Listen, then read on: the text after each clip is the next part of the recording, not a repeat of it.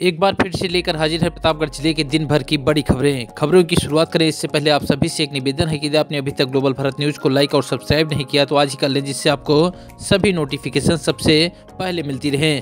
चलिए देर न करते हुए रुक करते हैं आज की पहली बड़ी खबर खबर सदर इलाके से, जहाँ वाराणसी से लखनऊ जा रहे डीआरएम ने माँ बेला देवी धाम रेलवे स्टेशन पहुंचकर किया निरीक्षण। लापरवाही बरतने वाले अधिकारियों को जमकर लगाई फटकार। बता दें कि वाराणसी से लखनऊ जा रहे डीआरएम एस एम शर्मा ने शुक्रवार को माँ बेला देवी धाम रेलवे स्टेशन में सवा घंटे तक निरीक्षण किया। अमृत स्टेशन योजना से जंक्शन पर प्रस्तावित अलग अलग विकास कार्यों की उन्होंने समीक्षा की और इसे समय पर पूरा करने का निर्देश दिया। जंक्शन पर कामकाज के विषय पर कमी देख कर्मचारियों को डीआरएम ने फटकार भी लगाई। अपने निरीक्षण के दौरान डीआरएम ने जंक्शन पर पुराने भवनों के ध्वस्तीकरण और नए प्रस्तावित भवनों की जानकारी लेते हुए विभागीय मानचित्र का अवलोकन भी किया। प्लेटफार्म नंबर एक पर कई कार्यालय को तोड़ने का काम अभी अधूरा है, ऐसे में डीआरएम ने फटकार लगाई। उन्होंने स्टेशन अधीक्षक समीम को निर्देश देकर कहा कि पुराने भवनों को तोड़कर अलग अलग कार्यालय का संचालन सुविधा अनुसार किया जाए। जंक्शन पर कामकाज से किसी प्रकार से यात्रियों को समस्या न हो।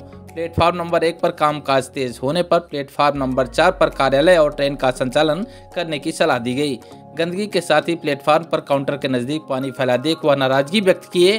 डीआरएम के निरीक्षण के पहले प्लेटफार्म तक कई कर्मचारी की बाइक बेतरतीब खड़ी रही जिसे हटवाया गया। वहीं फ़ूड प्लाजा का निरीक्षण करते समय डीआरएम को संचालक ने बताया कि भोजन बुकिंग का आवेदन नहीं मिलता। खाद्य पदार्थों की अधूरी जानकारी पर फ़ूड प्लाजा संचालक को भी फटकार लगाते हुए उसे बंद करने की सलाह दी। खबरों में आगे बढ़ते हैं बात करेंगे कुंडा इलाके खबर की, जहाँ गंगा स्नान करने गए तीन युवकों की डूबने की सूचना पर मची रही अफरा तफरी।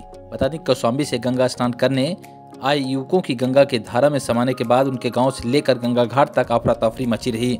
पुलिस के साथ ही अन्य लोग के भी फ़ोन घनघनाते रहे। अंधेरा होने लगा तो लोगों की भीड़ कुछ कम हुई।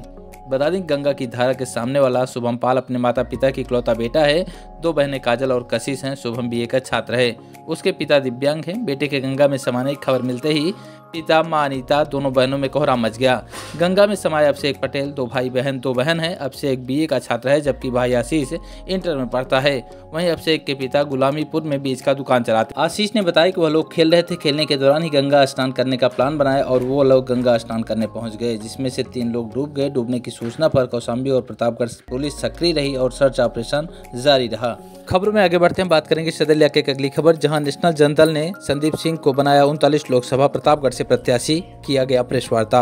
यह प्रेस वार्ता प्रतापगढ़ शहर के एक होटल में आयोजित किया गया, जिसमें नेशनल जनता के राष्ट्रीय अध्यक्ष, सेवानिवृत्त न्यायमूर्ति डॉक्टर आई एम कुद्दूसी पहुँचे।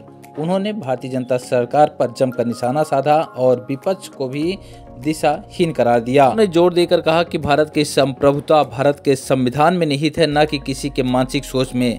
केंद्र में भाजपा की सरकार बनने के बाद संवैधानिक संस्थाओं की स्वायत्तता में हस्तक्षेप बढ़ा है और आज ईडी, सीबीआई, एसबीआई जैसी तमाम संस्थाएँ मोदी के व्यक्तिक रूप में काम कर रही हैं। इस दौरान उन्होंने प्रतापगढ़ लोकसभा सीट से संदीप सिंह को अपना उम्मीदवार बनाते हुए कहा कि उन्हें उम्मीद है कि प्रतापगढ़ की जनता उन्हें अपना स्नेह और प्यार देगी। इसके साथ ही साथ राष्ट्रीय अध्यक्ष ने उत्तर प्रदेश की 35 सीटों पर लोकसभा चुनाव लड़ने का भी ऐलान किया। सपना वो सपने को साकार करने के लिए मुझको एक पॉलिटिकल पार्टी गठित करनी पड़ी, जिसका नाम है नेशनल जनदल जिसका चुनाव चिन्ह है लेटर बॉक्स हमारे संदीप जी प्रतापगढ़ के प्रत्याशी घोषित किए गए हैं। हम सब लोगों ने किया है। संदीप जी के अंदर जो क्वालिटी है उस क्वालिटी को देखते हुए हमने इनका चयन किया। तो करीब करीब पैंतीस सीट पे चुनाव का अभी तक हमने प्रत्याशी किया है। भारत में उत्तर प्रदेश नहीं नहीं उत्तर प्रदेश में। भारत में तो बहुत है। भारत में उड़ीसा में लड़ेंगे दिल्ली में लड़ेंगे पंजाब में लड़ेंगे और बिहार में लड़ेंगे जम्मू कश्मीर में लड़ेंगे। तो अभी तो बहुत लड़ना है और अभी तो समझिए आप बहुत स्ट्रगल करना है।